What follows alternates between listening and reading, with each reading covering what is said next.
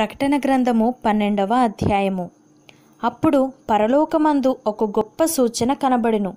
అదేదనగా సూర్యుని ధరించుకొనిన ఒక స్త్రీ ఆమె పాదముల క్రింద చంద్రుడును శిరస్సు మీద పన్నెండు నక్షత్రముల కిరీటమును ఉండెను.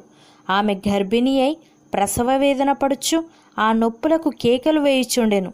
అంతటా పరలోకమందు ఇంకొక సూచన కనబడెను. ఇదిగో ఎర్రని మహాగట సర్పము.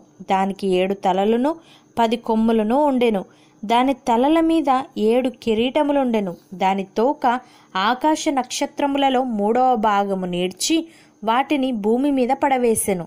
కననయ్యున్న ఆ స్త్రీ కనగానే ఆమె శిశువును మృంగివేయవలనని ఆ ఘటసర్పము స్త్రీ ఎదుట నిలుచుండెను. సమస్త జనములను ఇనుపదండముతో ఏలనయ్యున్న ఒక మగ శిశువును ఆమె కనగా ఆమె శిశువు దేవుని యొద్దకును ఆయన సింహాసనమునొద్దకును కొనిపోబడెను. ఆ స్త్రీ అరణ్యమునకు పారిపోయెను. అచ్చటవారు వెయ్యిన్ని రెండు వందల అరవది దినములు ఆమెను పోషింపవలనని దేవుడు ఆమెకు ఒక స్థలము సిద్ధపరిచి ఉంచెను. అంతటా పరలోకమందు యుద్ధము జరిగెను. మిఖాయేలును అతని దూతలను ఆ ఘటసర్పముతో యుద్ధము చేయవలనని ఉండగా ఆ ఘటసర్పమును దాని దూతలను యుద్ధము చేసిరు గాని గెలవలేకపోయేరు గనుక పరలోకమందు వారికిక స్థలము లేకపోయెను.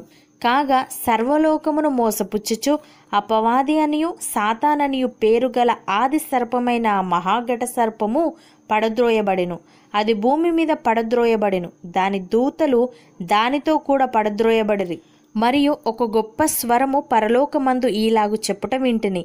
రాత్రింబగళ్ళు మన దేవుని ఎదుట మన సహోదరుల మీద నేరము మోపువాడైన అపవాది పడద్రోయబడి ఉన్నాడు గనుక ఇప్పుడు రక్షణయు శక్తియు రాజ్యమును మన దేవుని వాయెను.